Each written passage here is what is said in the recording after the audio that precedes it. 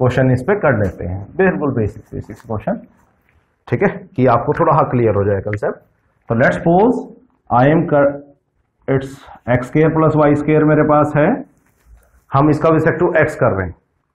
तो किसके विसेक्टिव कर रहे हो? अब इसका एक बार इसका विसेक्टिव एक्स कर रहे हैं और एक बार इसका सॉरी एक बार इसका विसेक्टिव वाई करेंगे।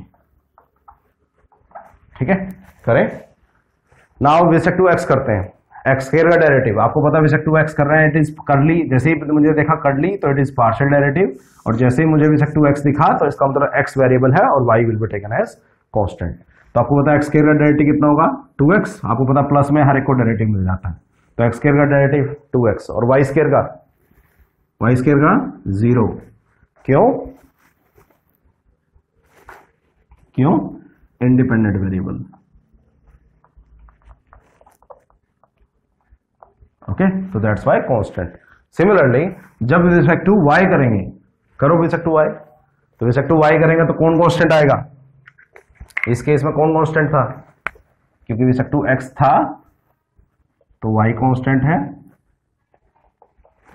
और रिस्पेक्ट टू वाई है तो एक्स कॉन्स्टेंट है। सिंपल ही बात है। ठीक है? करें? तो सेक्टर वाई है तो एक्स कॉन्स्टेंट है तो it will be zero x के रेडियो कितना होगा? ज़ीरो और वाई स्केयर का टू वाई सिंपल ठीक है? तो होपफुली आपको ये बात पता लगी होगी। कोई डाउट होगा तो प्लीज़ आप मुझे व्हाट्सएप कर सकते हैं, नहीं तो ईमेल भी कर सकते हैं। एक दो क्वेश्चन और सोल्व करते हैं यहाँ पे so that you will have ना more clear idea about it ठीक है?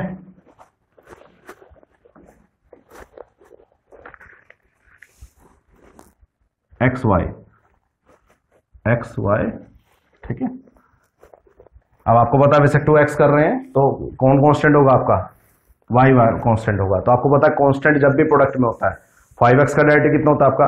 फाइव फाइव जो कांस्टेंट होता है, वो हमेशा प्रोडक्ट में पड़ा रहता है, उसकी कोई टेंशन नहीं होती। जो भी वेरिएबल टर्म है, सिर्फ़ उसका डेरिवेटिव हम करते हैं। तो यहाँ अगर विसेक टू एक्स वाई करें, करिए। एक्स वाई का करेंगे तो x will be variable and y will be constant तो वाई एज सच पड़ा रहेगा वाई कोई टेंशन नहीं है। एक्स का डेरिवेटिव वन तो automatically it will be solve to y similarly जब रिस्पेक्ट टू वाई करेंगे तो x will be taken as constant तो x will be as it is and y का डेरिवेटिव वन तो it will be overall x तो simple ही बात है। यानी डिफरेंशिएशन की कंसेप्ट में कोई चेंज नहीं है। पहले भी कांस्टेंट अगर प्रोडक्ट में होता था तो हम उसको एस सच रखते थे। अब भी कांस्टेंट प्रोडक्ट में है तो उसको हम एस सच ही रख रहे हैं। सिर्फ़ एक चेंज जो है कि आपने किसको कांस्टेंट मानना है और किसको वेरिएबल मानना है। ठीक है? मेन बात क्यों? क्योंकि यहाँ दोनों वेरिएबल इंडिपेंडेंट है तो जिसके रिस्पेक्टिव करेंगे, वही वेरिएबल होगा, बाकी सब कांस्टेंट होंगे। तो just do care about it दो चार क्वेश्चन और कर लेते हैं। इजी से हैं क्वेश्चन सारे। So that you will have a more clear cut idea about it x square y square करिए एक्स स्केयर वाई स्केयर को। आप वीडियो पोज करके अपने आप भी सोल्व कर सकते हैं और you can match your answer कि वो ठीक आया या गलत आया। ठीक है? तो एक्स स्केयर वाई स्केयर आपको पता है विसेक्टो एक्स कर रहे हैं तो y will be taken as constant तो वाई स्केयर एज सच पड़ा रहेगा। और एक्स स्केयर का? टू एक्स तो it will solve out to be two x y square similarly विसेक्टो y करेंगे तो x square as it is y square का? To Y तो two x square y generally लिखने में हमेशा एक्स और वाई एक्स फ़र्स्ट रखते हैं वाई सेकेंड रखते हैं। तो दैट्स वाई मैंने सिंप्लीफाई करके उनको रख लिया। Similarly we are solving two three question more तो थोड़ा ध्यान से देखते रहिएगा। कहीं डाउट होगा तो प्लीज़ पूछ लीजिएगा। थोड़ा टिपिकल लेते हैं question sine x y sine x y ठीक है? तो आपको पता है साइन का, सबसे पहले आपसे साइन है, पहले तो साइन साइन का डेरिवेटिव कितना होता है बच्चों? कोस एक्स वाई साइन का डेरिवेटिव होता, कोस, वो उसमें हम कुछ नहीं कर सकते। उसके बाद एंगल की टर्न ज़रूर देते हैं, हमेशा। उसके बाद एंगल की टर्न देने का मतलब एंगल का डेरिवेटिव ज़रूर करना है।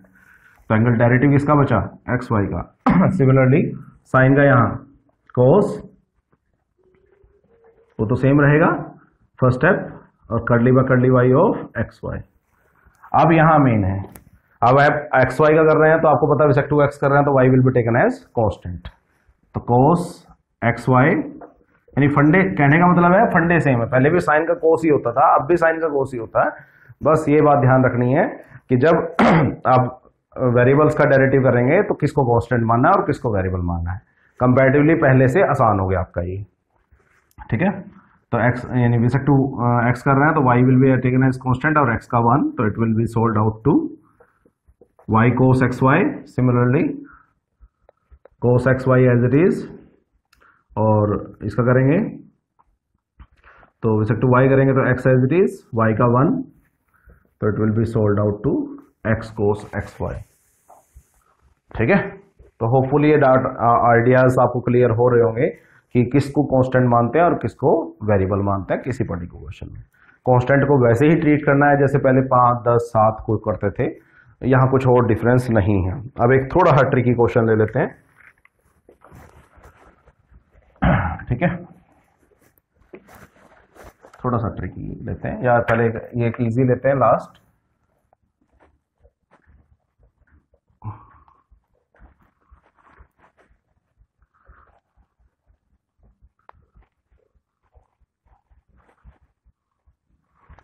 तो करें लॉग का डेरिवेटिव क्या होता है बच्चों? वन बाय आपको पता है लॉग का डेरिवेटिव होता है वन बाय जो भी आगे है, वो that will be simply reversed one by x तो यहाँ one by x square plus y square derivative इसका बचा? X square plus y square similarly यहाँ one over x square plus y square derivative of x square plus y square अब derivative करें यहाँ. विसेक्ट to x करेंगे तो x का x square का क्या होगा? टू एक्स होगा और वाई स्केयर का ज़ीरो होगा. ये पता है किसी को, अगर स्टिल कोई डाउट नहीं क्लियर नहीं हुआ तो प्लीज़ एक बार वीडियो पॉज करके या वीडियो रिवाइंड करके देख सकते हैं। ठीक है?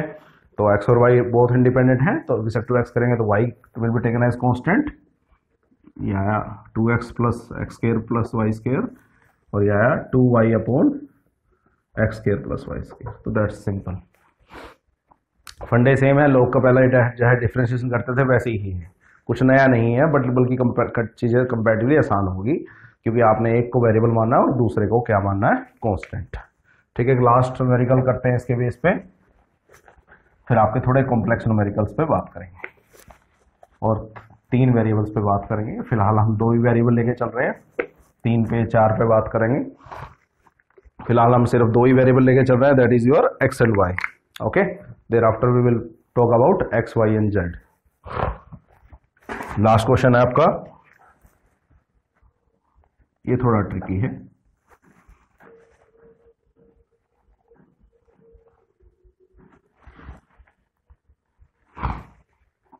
The question is sine x by y sine x by y तो सबसे पहले तो साइन ही दिखा। तो उसमें तो कोई चेंज ही नहीं है। उसके बाद डेरिवेटिव किसका करना है? सॉरी कर्ली किसका पार्शियल डेरिवेटिव किसका करना है? एक्स बाय वाई का। हमेशा टिग्नोमेट्रिक फ़ंक्शन के बाद उनके एंगल के टर्म जो देते हैं। अब यहाँ ट्रिकी है कॉन्सेप्ट अब ध्यान से देखिएगा इस बात को। अब यहाँ किसके विजेक्ट कर रहे हैं? किसके विजेक्ट कर रहे हैं? एक्स के। तो कांस्टेंट कौन है? वाई तो वाई इज़ कांस्टेंट तो y as it is x का डेरिवेटिव वन तो it will be simply solve to तो आपको पता है एक्स का डेरिवेटिव नोमरेटर में वन होता है तो कोई प्रॉब्लम ही नहीं है। तो Y as it is x का डेरिवेटिव वन अब यहाँ देखिए। Cos x by Y same अब एक्स बाय वाई का कीजिए। विसेक टू एक्स करेंगे तो एक्स को सॉरी विसेक टू वाई करेंगे। Sorry sorry sorry it's विसेक to Y विसेक to Y करेंगे तो x as it is one by Y का आपको डेरिटिव करना है। होपफुली वन बाय वाई का आपको डेरिटिव आता होगा। नहीं तो आप यहाँ कोशेंट रूल भी लगा सकते हैं, क्योंकि आपको पता है डिवाइड में जब भी वेरिएबल हो तो कोशेंट रूल होता है। कोशेंट रूल क्या कहता है? डिनोमिनेटर का square denominator as it is numerator का derivative that will be zero because with to y कर रहे हो आप एक्स का डेरिटिव ज़ीरो आएगा. और numerator as it is denominator का डेरिटिव वन दोबारा देख लेते हैं. डिनोमिनेटर का square denominator as it is numerator numerator आपका एक्स है that is constant in this case तो उसका डेरिटिव ज़ीरो आएगा minus numerator as it is denominator का डेरिटिव दैट इज़ वाई का derivative set to y one आएगा। तो after solving it will be minus x by y square cos x by y तो product rule same है question rule same है power rule same है log का sign का, किसी भी तरह का रूल हर एक सेम है डिफ्रेंशिएशन में भी पार्शियल डिफ्रेंशिएशन में में भी। बस डिफरेंस का है आपका यहाँ पे, कि आपने किस वेरिएबल को कांस्टेंट मानना है और किसको वेरिएबल मानना है। ठीक है? तो आपके दोबारा बस लास्ट बात है। दो वेरिएबल्स अगर आएँगे एक्स और वाई तो दोनों को, दोनों इंडिपेंडेंट ट्रीट होते हैं पार्शल में। तो जिसके रिसेक्ट करोगे रिसेक्ट एक्स करोगे तो एक्स का डेटिव वन आएगा वाई का ज़ीरो आएगा। और रिसेक्ट वाई करोगे तो एक्स का ज़ीरो आएगा और वाई का वन आएगा। That's all about two variables partial differentiation इसके बाद जो न्यूमेरिकल आते हैं मेनली वो तीन वेरिएबल्स पे आते हैं। तो we will move to the next point now तो just do care about it okay